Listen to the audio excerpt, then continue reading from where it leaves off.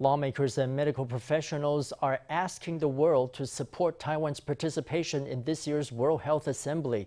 In a press conference on Wednesday, representatives from medical groups said that Taiwan's exclusion was a loss not only for Taiwan but for the global community. This year's WHA is slated for May 22nd to 28th in Geneva.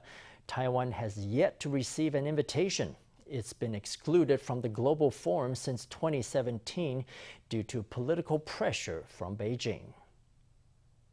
坚韧台湾疫情控制 WHA 台湾不缺席。 Clenching fists and shouting slogans, representatives of 20 Taiwanese medical groups and bipartisan lawmakers make their appeal.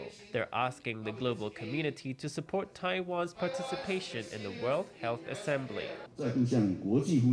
Once again, we're calling out to the international community. The WHO cannot be without Taiwan. Taiwan should participate in the WHA. Taiwan's absence is a loss for humanity. The 75th World Health Assembly will be held from May 22nd to 28 in Geneva, Switzerland. Due to pressure from China, it's been six straight years that Taiwan has not received an invitation. In April, U.S. Deputy Secretary of State Brian McKeon had met the Secretary General of the World Health Organization in Washington. During the meeting, McKeon made a push for Taiwan's participation in the WHO as an observer. Japan's foreign ministry also supported Taiwan's inclusion in the latest edition of its diplomatic blue book.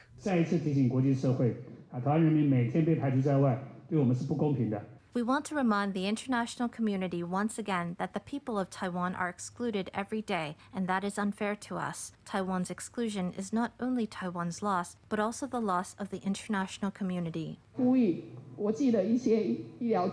We're asking that these international medical bodies, such as the WHA and the WHO, include Taiwan. Taiwan's foreign ministry released a short video on Taiwan's medical work overseas. The film aims to win international support for greater Taiwanese participation in global healthcare.